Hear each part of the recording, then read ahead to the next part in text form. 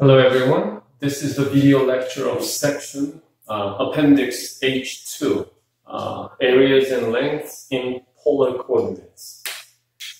So recall that the area of uh, area formula of a sector, part of a circle, measured by angle theta, radius r, the area, one half of r squared theta theta of uh, 2 pi, theta out of 2 pi. This is data theta portion out of 2 pi of the entire pi r squared, right?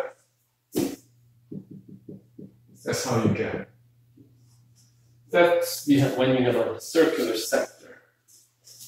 Now, here we are interested in the area of the region bounded by the sector-like region.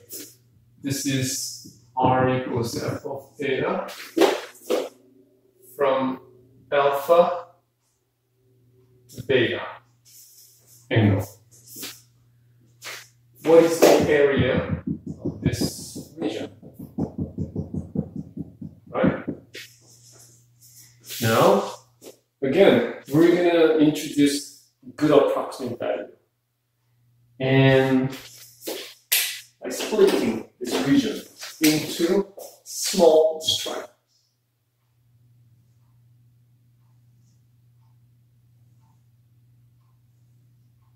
Like this. Okay? So let's say each these angles are delta theta. So we split this angle from alpha to beta uh, uniformly.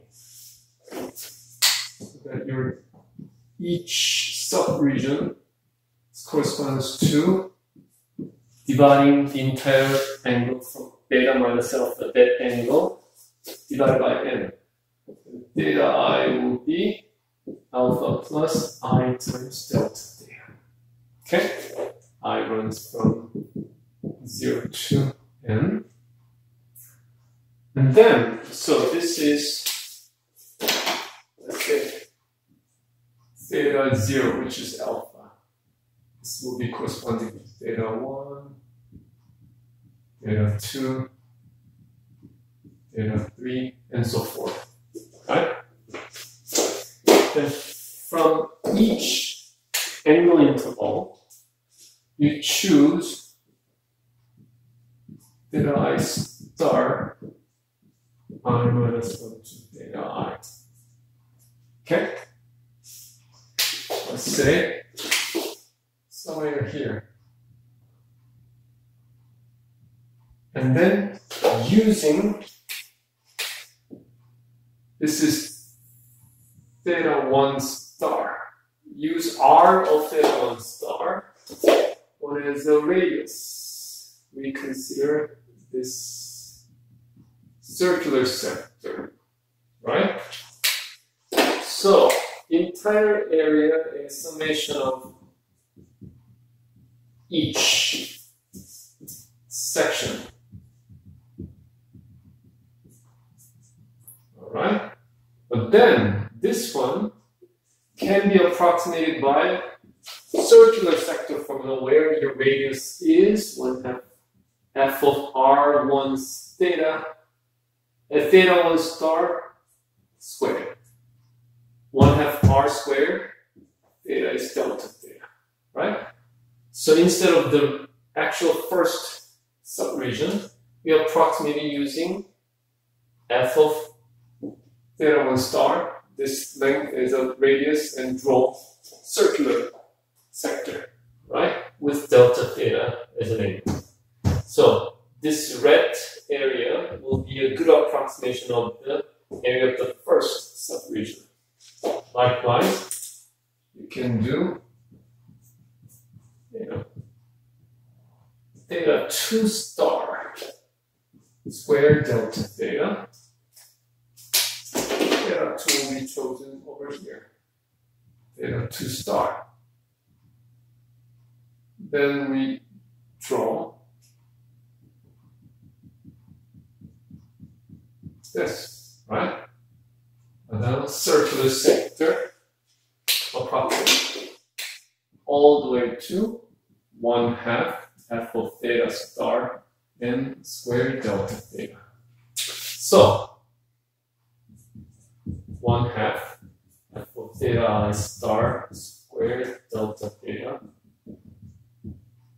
exactly Riemann sum of this function, f of theta squared function. Now, the more division you have, better approximation. And if you take the limit as n goes to infinity, that should be the exact value of the area. Limit of Riemann sum of this function is definite integral from alpha to beta, 1 half f of theta squared d theta. Or you can just rewrite it. You know, r equals f of theta, you can write it this way, r squared d theta. r is a function of theta, f of theta, so f of theta squared. It's interesting, one half of r squared d theta instead of theta, right? This is a limit of delta theta goes to. Okay? All right. Let's do one example. First example. Find the area enclosed by r equals 2 cosine theta. All right. Okay. In the previous section, H1, we learned that this is actually a circle centered at 1, 0, and radius 1. So we know that the answer must be pi r squared, pi 1 squared, so pi. Now, this one, look at this. As theta approaches from 0 to pi over 2, see? Think about it. Ah, these are the, all the areas of this sector. This is r of theta, right? If alpha is 0, 2, pi over 2 will cover the upper semicircle, right? This upper semicircle is actually just like this. r equals 2 cosine theta from 0 to pi over 2. Now, pi over 2 to pi will be going this way, right? Again, inside the curve of the same equation. So, this is actually, the area is 0 to pi, 1 half f of theta, which is 2 cosine theta squared d theta. 4 times 1 half is 2 cosine squared theta d theta. When you have square cosine of square, you use what? 1 plus sine of 2 theta, cosine of 2 theta, right? The power reduction formula, or doubling the formula variance. Okay? So you will get 2 to cancel. This is 0 to pi. 1 plus cosine of 2 theta theta.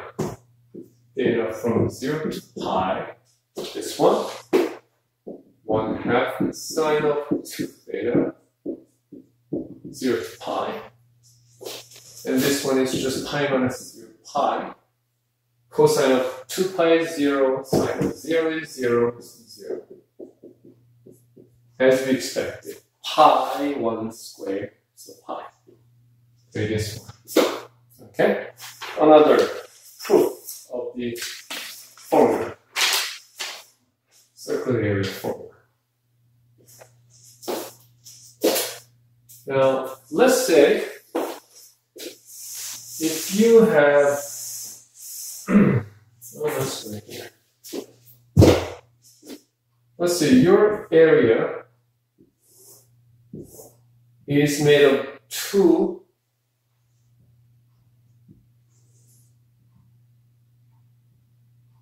This is r equals f of theta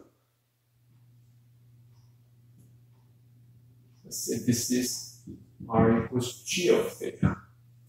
Two polar curve from alpha to theta.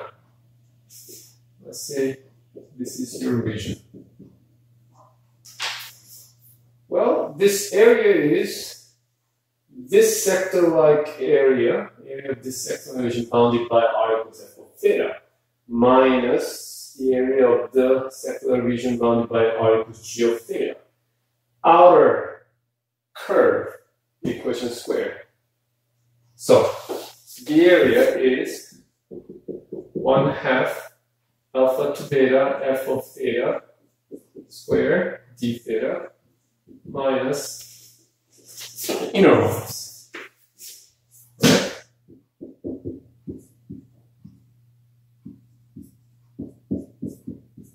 So you can write it 1 half alpha to beta outer curve equation square minus inner radius square d theta.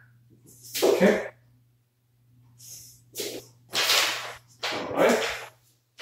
So, using this, let's find the area of the following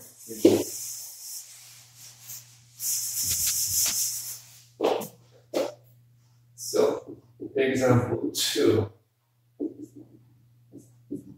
Find the area of the region. Lies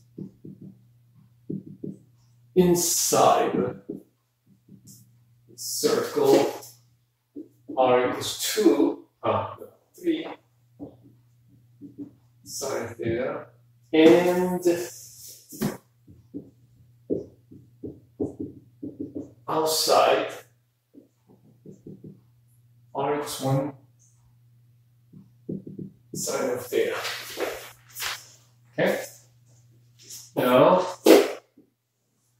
you can easily show that this is a circle sitting on the x-axis like this.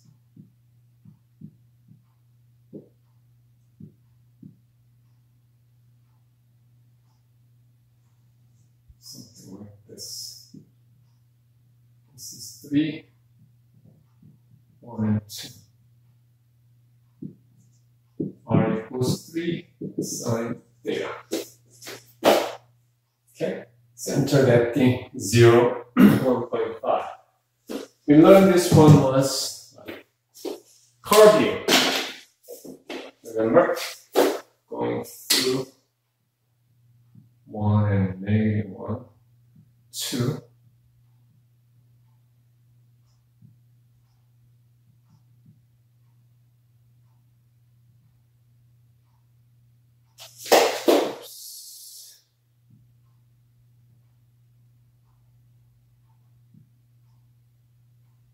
Something like this.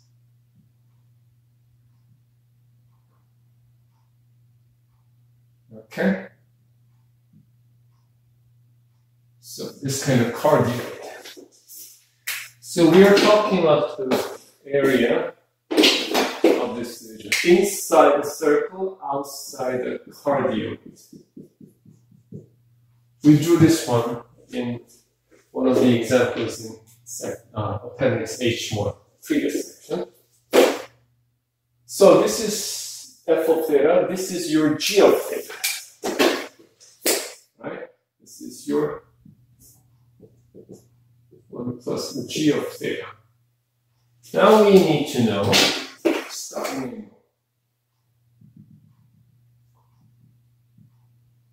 through the intersection points. Theta equals what? And theta equals another. So let's find intersection point first.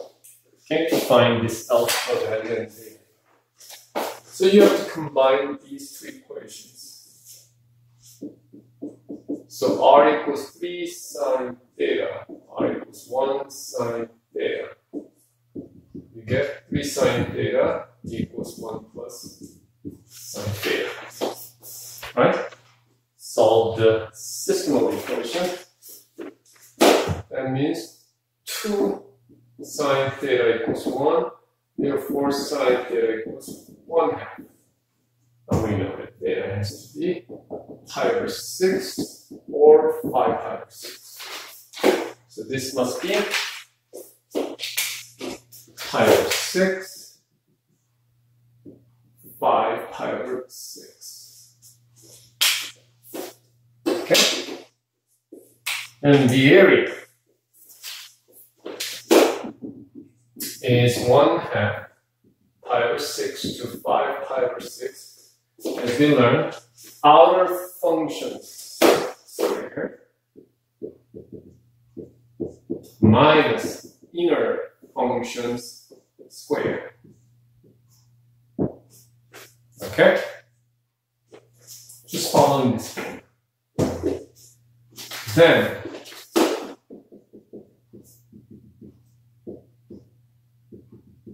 this is 9 sine squared theta minus 1 plus 2 sine theta plus sine squared theta.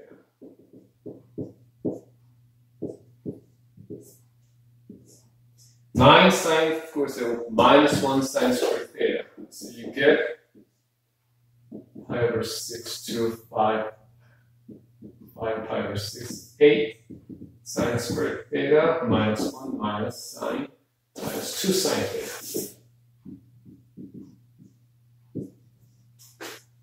Sine squared theta, hard to integrate. So we use again power reduction formula. 1 minus cosine of 2 theta over 2. Okay? So 2 to cancel, you get 4 times the above 1. 5 pi over 6. 4 minus 4 cosine of 2 theta.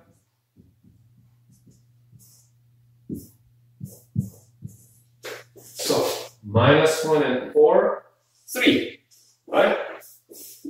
So integral of 3 from pi over 6 to 5 pi over 6, right? 4 minus 3. And this one, cosine integrated this sine of 2, you have to have 1 half. So minus 2 sine of 2 theta. Indefinite integral. Pi over 6 to 5 pi over 6. Minus plus sine theta integrated is minus cosine. So minus minus cancel 2 cosine theta pi over 6 to 5 pi over 6. So, inside the brace, one half, three times, 5 pi over 6 minus pi over 6 is 4 pi over 6, or 2 pi over 3, right? This one, minus 2 times sine of 5 pi over 3, 5 pi over 3, minus square root of 3 over 2.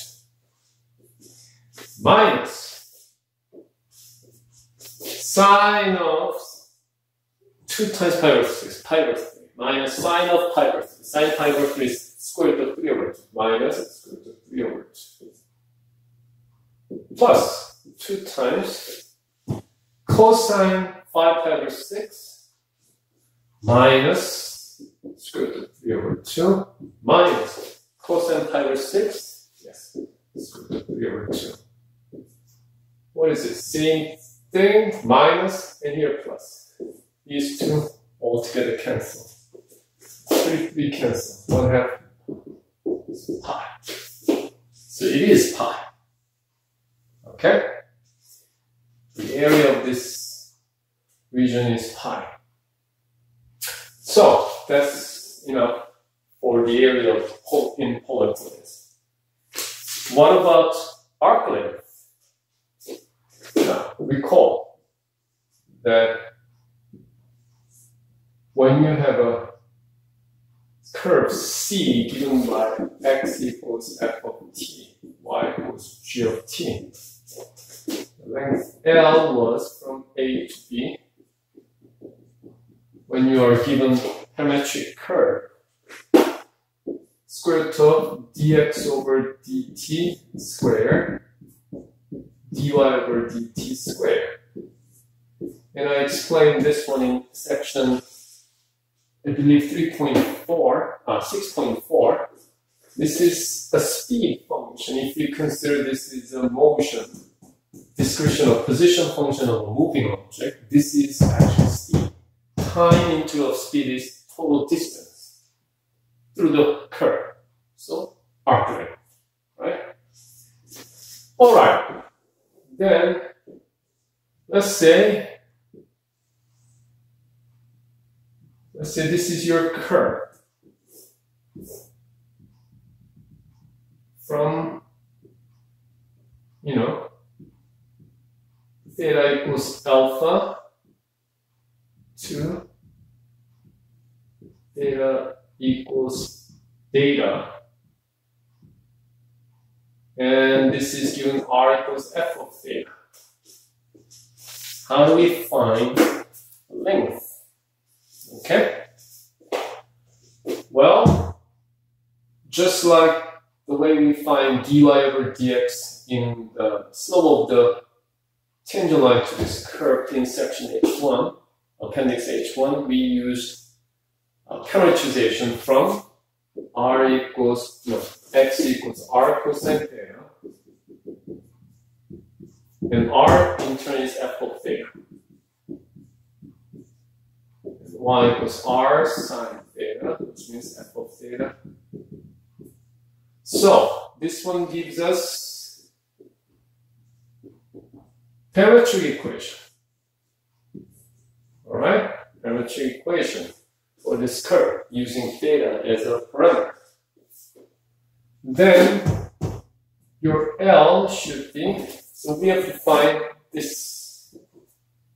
So L should be alpha to beta dx over d theta square dy over d theta square d theta.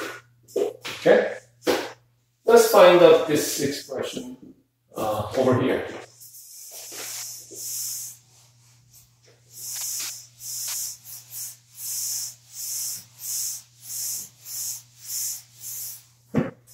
So, what is dx over d theta squared? That is dx over d theta f prime cosine theta minus f of theta sine theta. f prime g, f g prime. Cosine theta minus sine theta. To the square. Yes. That means f prime theta. I'm going to just use f prime. f prime square cosine square theta minus 2f f prime cosine theta sine theta plus f square sine squared theta. Alright? What about dy over d theta squared? That would be f prime sine theta. See? Product f prime sine f sine derivative, which is cosine. Cosine theta squared. f prime square plus 2f prime f sine theta cosine theta plus f squared cosine squared theta.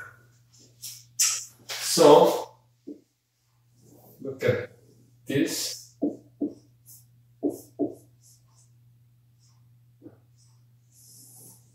This.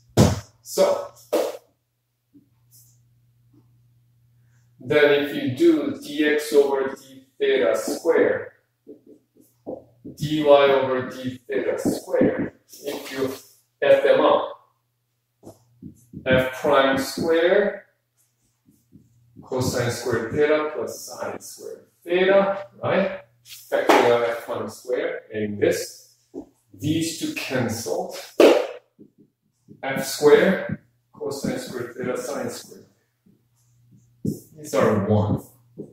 So it is f prime of theta squared plus f of theta squared, right? So you have therefore you have alpha to beta r um, f of beta squared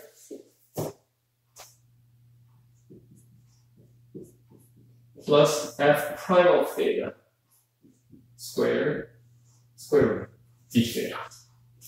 Or you can consider this one. You can write it as r squared dr over d theta squared d theta. Okay? Either way, you can write. Okay. Then example three. Find the arc length of r equals 2 cosine theta from 0 to pi. Be careful, it's not 2 pi, just pi. Because, do you remember? We drew this circle. That was a circle with radius 1 centered at 1, 0, right? We go over this one one turn from 0 to pi, right? If you go 0 to 2 pi, it was going through twice. Okay? So, that means you're asked to find the arc length of a circle with radius 1. Circumference of circle with radius 1. So 2 pi r, r equals 1. We should expect to have 2 pi, right? So, from 0 to pi, now r, which is this, 2 cosine theta squared dr over d theta minus 2 sine theta squared square root d theta according to the formula. And this is 4 cosine squared, 4 sine squared inside the square root. This is 1 square root of 4. So, constant 2. So let's go to pi. So, as we expected, we're going to get 2 pi. Okay? So 2 pi r works. Okay, this is the end of section uh, appendix H2, area and arc length in polar coordinates. Okay? All right? I'll see you next time. Bye.